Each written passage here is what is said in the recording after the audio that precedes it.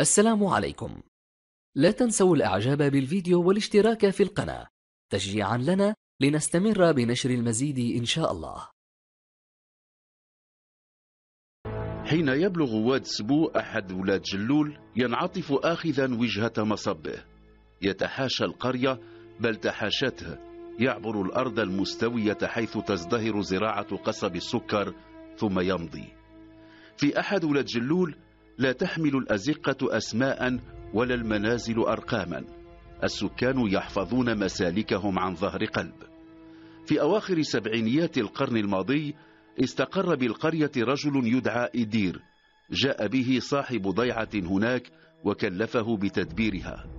كان يبدو وقتها وقد نال حظا من التعليم. ولكن أكثر ما كان يطبع شخصيته الهادئة دون ما تراخ قربه من عمال المزرعة الذين صار نظريا رئيسهم والمسؤول عنهم وعما يقومون به. اتخذ إدير سكنا له في الضيعة وبعد بضع سنين وكان قد قارب الخمسين أو جاوزها بقليل تزوج فتاة شابة تصغره بأكثر من عشرين عاما.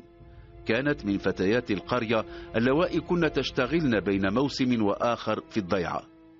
الأقربون منه يعلمون أن إدير واسمه الكامل إدير أبا عمران ينحدر من قرية ريفية قريبة من ترجيست.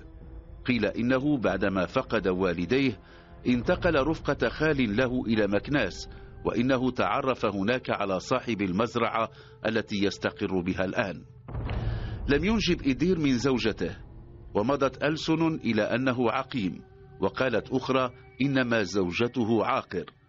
لم يكن يعير كبير اهتمام لما يقال. كان يعيش في انسجام تام مع زوجته الشابة. رجل في مثل سنه وماضيه هل له أن يطمح إلى أكثر من ذلك؟ توطدت علاقة إدير بأهل القرية. صار واحدا منهم ولم يعد كثيرون يطرحون السؤال عن أصوله. كان خدوما ومتواضعا. الهدوء الذي يطبع ملامحه كان يعري مسحة حزن وربما حالة انشغال بشيء ما كانت تلازمه تلك المسحة. صديقات زوجته عويشة تلك التي يدللها ويناديها عويشتي كن تغبطنها. وكانت حين تتفطن إلى ذلك من إحداهن تقول لو كان لي منه ولد أسرت لإحداهن يوما بأنها طلبت من إدير أن يتبني طفلة أو طفلا ولكنه وإن لم يبد رفضه بوضوح لم يعلن موافقته. هي تعلم أن الرجل في مثل تلك المواقف لا يلين ولذلك لم تلح عليه. لما بدأ إدير يحس ثقل السنين التي تتوالى صار ينزع إلى العزلة. قل كلامه وصار دائم التفكير. حاولت زوجته عبثا أن تنفذ إلى ما كان يشغل باله. في العام 96 كان يقدر أن عمره اقترب من السبعين كان تقديرا مجرد تقدير. نزعت حياته إلى رتابة. صارت زوجته تمضي من الوقت الكثير لدى عائلتها وكثيرا ما فضلت أن تمضي الليل بل الليالي هناك. لعله صار يحس بأنه رجل استنفذ ولم يعد له من مبرر. كان صاحب المزرعة ذاك الذي جاء به من مكناس قد توفي منذ سنوات وباع ورثته الضيعة وجاء مالكوها الجدد يطالبونه بإفراغ السكن الذي كان يشغله في الضيعة ذاك الذي بناه لنفسه. ظن أن مغرب عمره قد اقترب. كذلك كان يردد حين يزوره واحد من معارفه.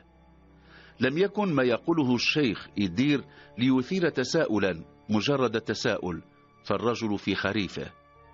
ثم فجأة اختفى إدير ذات يوم من أواخر الشتاء. بحثت عنه زوجته وإخوتها في كل مكان. افتقدوه مساء ولما جن الظلام على أحد لجلول أوقفوا البحث. في الغد لم يعثروا عليه وتوالت الأيام. بعد أسبوع عثر مزارعون على جثة تطفو في النهر قريبا من الجسر. كانت قد مرت على اختفائه عشرة أيام.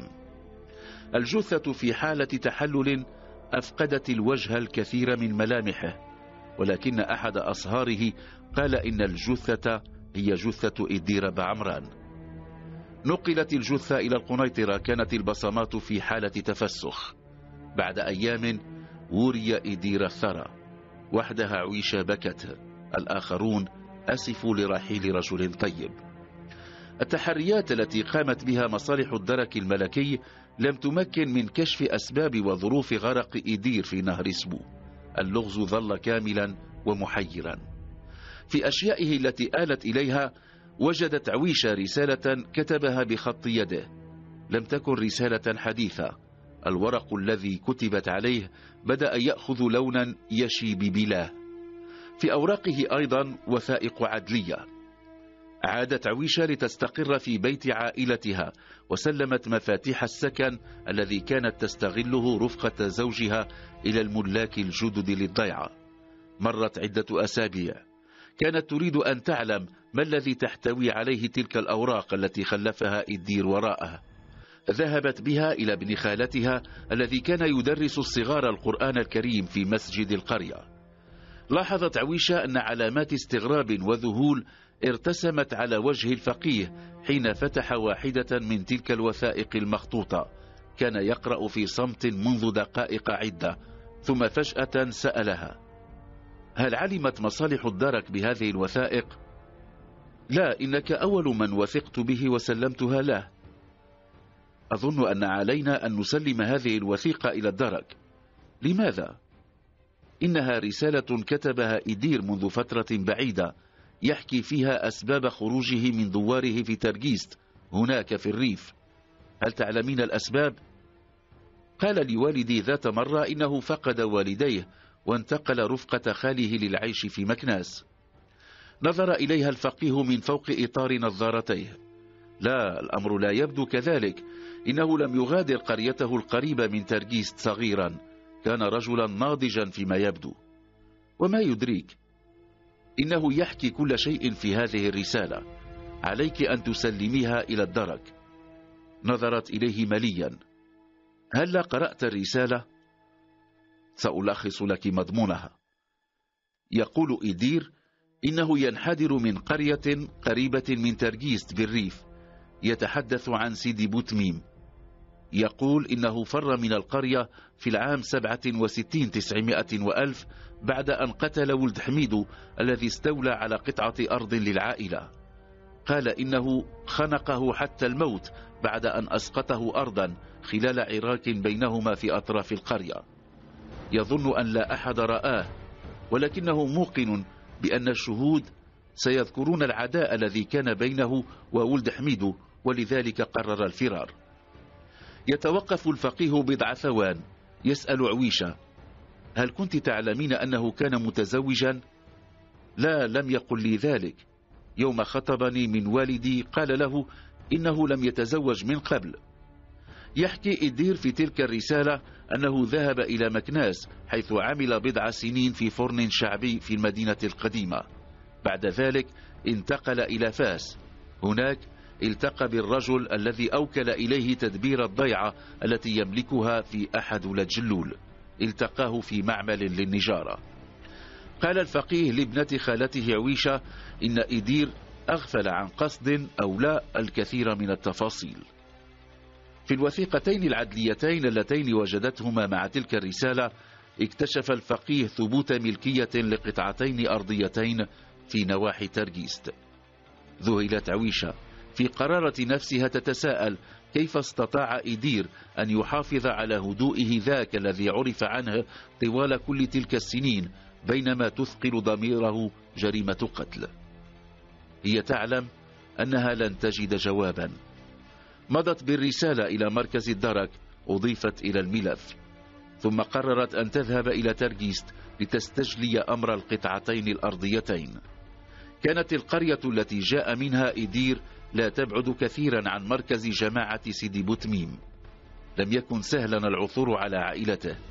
قليلون منهم الذين يذكرونه. أبناء شقيقه علال يذكرون قصة إدير وولد حميد. تلك حكاية طواها الزمن. علمت عويشة أن القطعتين الأرضيتين تقعان في منطقة بها أشجار اللوز. كان أبناء شقيق إدير يستغلونها. لاقت ترحابا من عائلة زوجها الراحل فقررت الاستقرار بينهم.